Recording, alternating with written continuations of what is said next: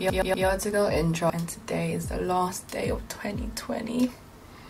I started making these tutorials as a bit of a joke about four months ago and I didn't think I'd have such a peng community of people that just want to make renders and learn. I wanted to make one final video. So today we're making a rotating iridescent logo type thing. so let's hop into Blender, shall we? So deleting our cube, we're going to insert a torus. This one, oh, okay. Before you click anything else, down here in this little dialog box, um, we're going to change the major segments to 50 and the minor segments to 25 and then the minor radius if you want to hit 7 on your numpad just so you can see the top view we're to change that to 0.1 um, let me move my head back real quick. Okay. Uh, hit 7 to go to top view and hit shift A and we're going to add some text. Um, hit tab and write whatever you like. Ooh. hit tab to leave text mode in the text properties. I'm going to change the font under font and we'll go for OCR I don't know why I love this font so much. Actually I'm going to change that to capital. Now select your text. Go to object set origin origin to geometry. So we've got our origin in the middle. Now hit shift S and put the selection to cursor. So that snapped our text right in the middle. If you hit S, we can scale it up a tiny bit like this. I think that looks good for me. Um, quickly select your torus, right click and shade smooth. Cool. Um, select your text again and go into text editor. Hit geometry press 1 on your numpad to go to the side and we're going to extrude it. Not all the way, I'd just say like a bit in the middle because we're also going to add a bevel. So we'll go down to bevel here and increase the depth. I normally just make it a bit chunky, go back into side view and then holding shift I slowly drag that number down so it's perfectly flush with the side. So now I've got a nice bevel. I'm going to increase the resolution to 9 and and then if you want this is optional under profile. You can go and add like a snazzy little bevel or whatever you want to do. I'm not too fast. cool. Now select your text again. Go to object convert to convert to mesh. Select both of them with shift and hit control j. Now we've got a joint object. It's all together. It's been united. It's one hit RX and hit 90 on your keyboard and that will rotate your logo 90 degrees. So now we want to make it rotate. There's lots of ways of doing it. If you wanted to, you could just hit N and uh, rotate it along the X, oops, along the Z, like that.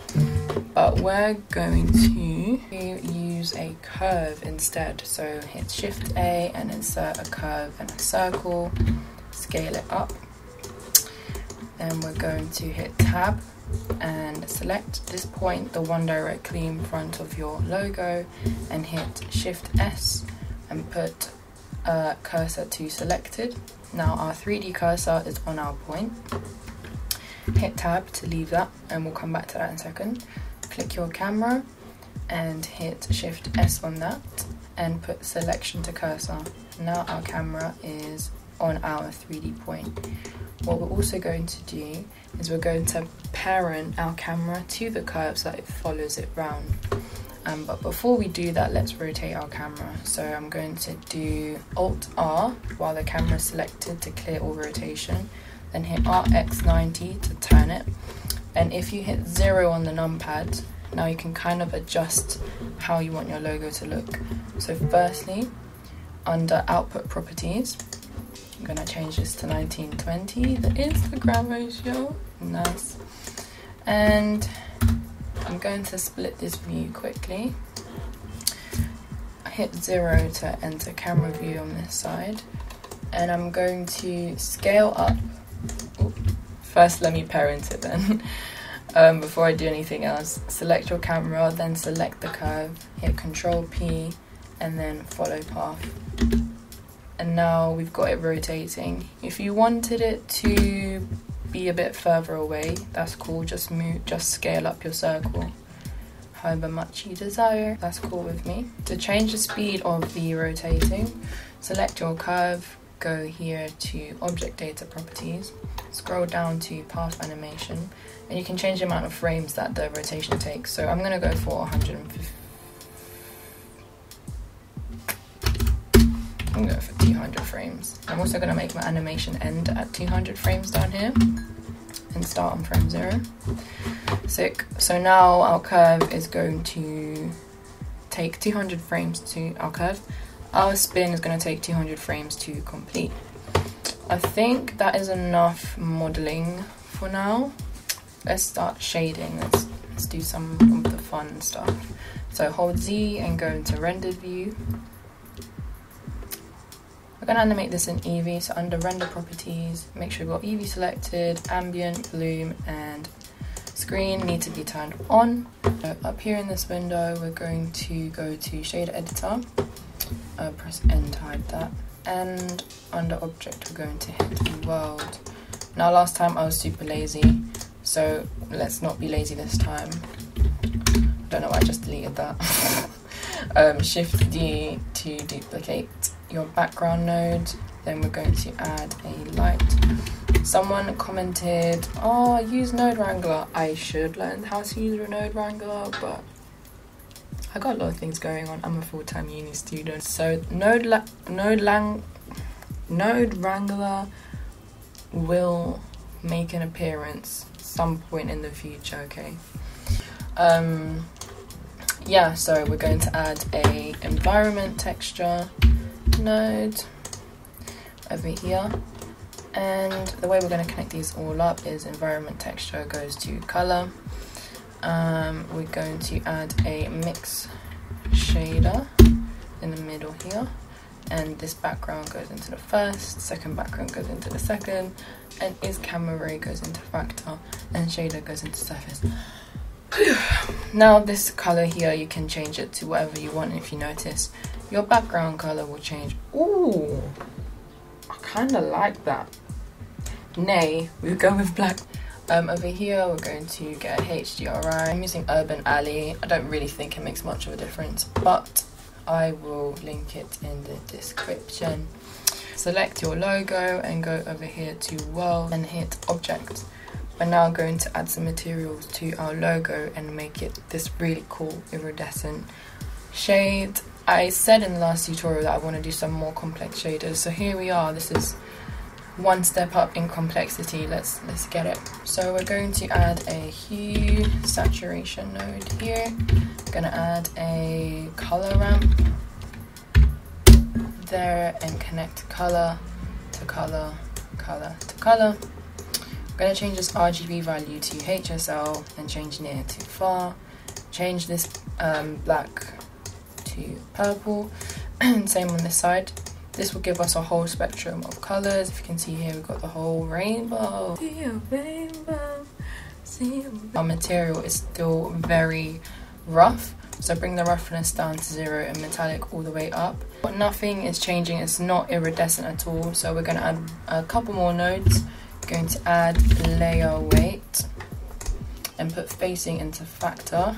We're going to add a magic texture, shift A and look for magic texture and put the color into normal. Let's quickly move over to the other side and add one more node here, emission, and a mix shader here. Now we're going to plug emission into shader, principled into shader, unplug that guy, plug that in there, and then we're to take hue and just plug that in there sorry if that was really unelegant. I am to learn how to show node systems a bit better and clearer soon. Um, but this is our setup. So let's increase the emission strength and that's starting to look kind of wavy.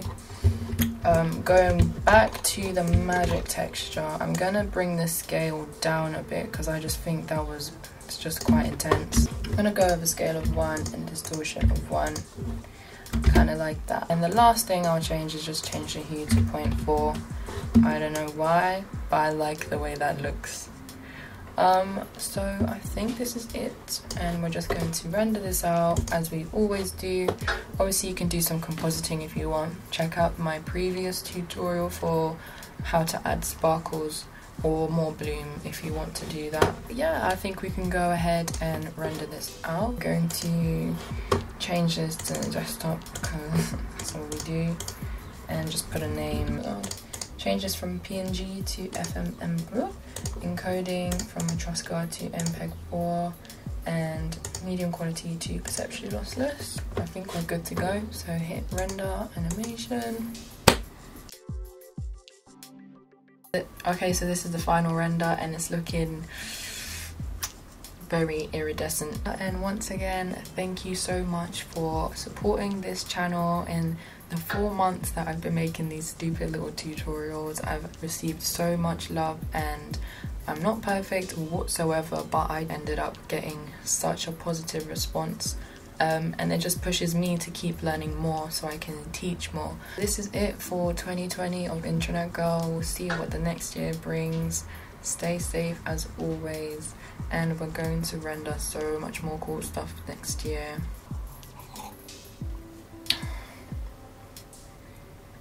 Yeah.